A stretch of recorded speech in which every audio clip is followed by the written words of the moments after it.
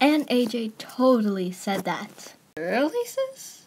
Really? Like, he literally said that. Like, I thought he, we were like meant to be, but like, seriously. To be honest, I don't think he's gonna even ask me to the dance. How about you? Cupquake? Cupquake? Uh, uh, Cupquake, hello? Are you even listening? Look behind you! What? Um, Cupquake, are you seriously messing with us? Yeah, are you? Who or what were you staring at? Huh? Uh, uh, it's nothing. Yeah, nothing, I guess. I, I thought I saw a killer, you know. Yeah. You've been watching way too many horror movies, to be honest.